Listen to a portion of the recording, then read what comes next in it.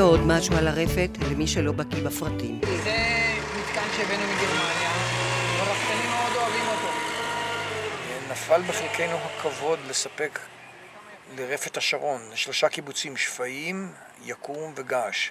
מקרב מזון יפה כמו שהם ביקשו, וגם הבאנו להם מגרמניה מנגב זבל נוזלי שלוקח כמויות יותר גדולות, בניגוד לזה שישנו ברמת יוחנן. גומי שרייבנר. איך שאנחנו מגיעים לרפת, ראינו את מנגב הזבל מגיע לרפת. אמנם הכלי הזה הוא לא החדש, שזה עתה נחת במוסך, אבל הוא עושה את העבודה וניתן להתרשם.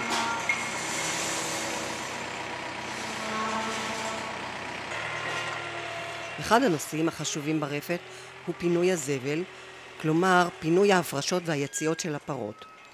ברפת של רמת יוחנן משתמשים בכלי מיובא מגרמניה, ולאחרונה ייבא דורון כלי דומה אך יעיל יותר לניגוב הזבל של הפרות.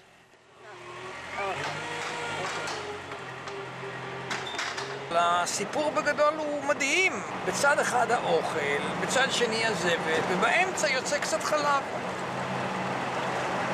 כשאת רואה את הקש הזה, את יכולה לייצר ממנו חלבון? לא. אז איך הפרה עושה את זה? איך ואיך? יש לה חמש קיבות, עם ים של חיידקים בפנים. החיידקים עושים חלב? מה? לא, החיידקים מפרקים את זה לחלבון, ואז אפשר לקבל חלב. בעיניי הסיפור הזה של פרות חולבות זה אחד משבעת פלאי עולם.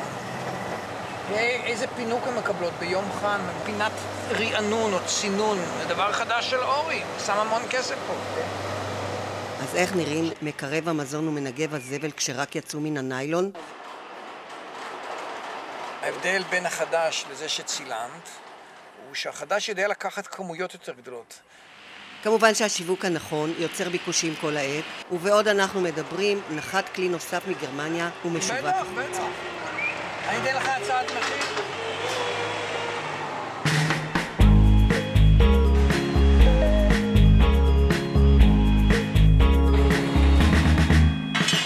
חלקים חתוכים מראש.